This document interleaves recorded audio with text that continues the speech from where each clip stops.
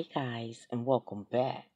Well, if you haven't already heard, R&B singer R. Kelly was released from jail on yesterday after someone paid $161,000 in back child support for his ex-wife. Now, um, the Cook County Sheriff's spokeswoman uh, told the Associated Press that she didn't know who made the payment. Now, it came three days after a judge ordered Kelly jailed until he paid the total amount he owed by that date. Now, Kelly briefly spoke to reporters Saturday after his release, saying, and I quote, I promise you, we're going to straighten all this stuff out. That's all I can say right now.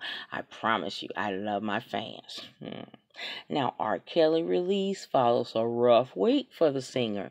Now, if you uh, don't remember, he made headlines for his explosive interview with CBS uh, this morning, Gayle King. Now, this was his first talk since being charged with 10 counts of aggravated criminal sexual abuse.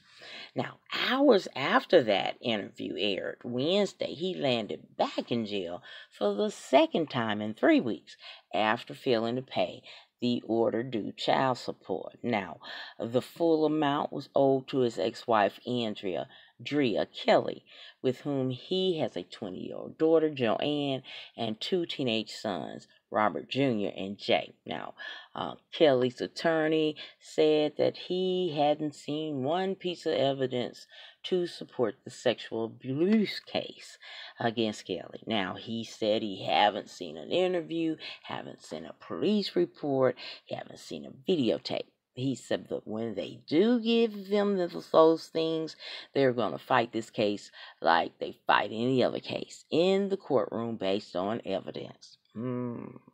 Now, last month, Kelly, 52, spent three nights in jail on the same sex crime charges after he turned himself in on February 22nd.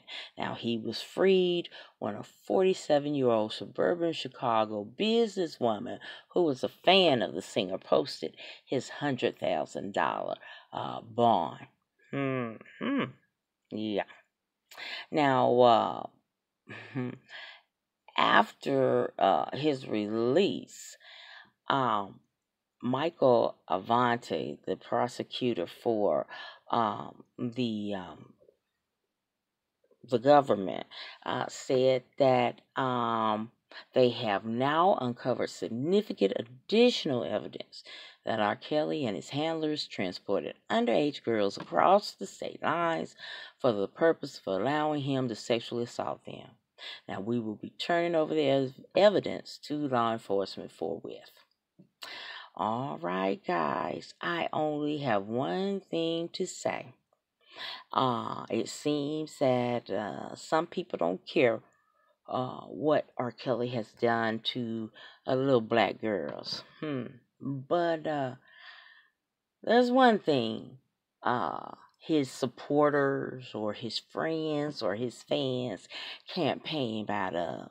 And that's paying him out of hell. Because if he did this, that's where he's going straight to hell. And they and they can't pay him for getting him off his ass when they send him to prison. Oh, excuse me. I'm so sorry. But I just it just came up and it just came out. All right, guys. I'm going to hold my mute. But I mean, wow. That's all I can say is wow. All right, guys, let's talk about it. Just press that comment button. Thank you so much for watching my video. Hope you will like, share, and subscribe to my channel. And as always important, be blessed, y'all.